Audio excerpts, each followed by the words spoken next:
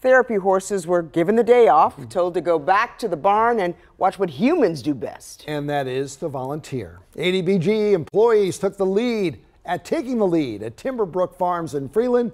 And what they did is cherished by Mama Cheetah, who runs this therapy horse farm. Man, it is so amazing. I cannot believe all the work they are doing.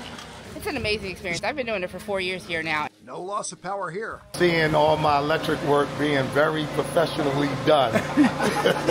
It's the power of volunteers. Just helping people, that's all. What do you get out of volunteering? Let me try that again. What do you get out of volunteering? Give back a little. Have camaraderie with your um, co-workers and things like that. As the miracle makers look on from the back of their living room, 80 volunteers parked their horse-powered cars and went to work. Weed whacking, building hay huts. Nicole Whitaker said it right. An army of volunteers. This is the fastest growing event that we've seen. Um, this is the most volunteers. We've had 80 volunteers for one event. They're here.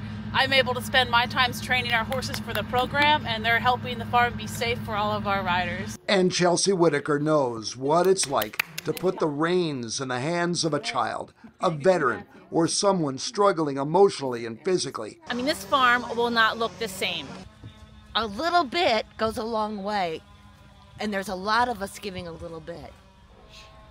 I love that soundbite. A little bit goes a long way. BGE had close to a thousand employees attend over 80 events last year. And if you would like to volunteer your talents at taking the lead, they are always looking for help. But BGE, man, they just go out and do it. So that's a win-win for the, the events, horses, right? for the uh, workers, Yeah. and for the people at the farm who want That's to get right. work done. And it was it's just beautiful out Pretty there. Pretty cool.